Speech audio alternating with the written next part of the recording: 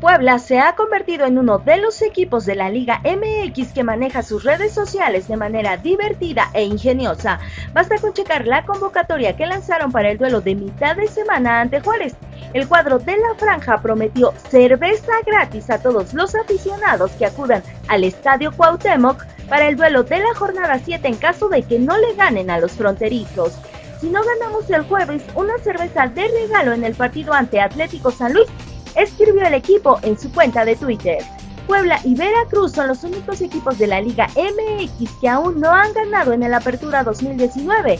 Los camoteros llevan tres empates y dos derrotas y son el penúltimo lugar del torneo, racha que esperan cortar ante Juárez para librarse de la apuesta y por fin llevar una alegría a sus aficionados.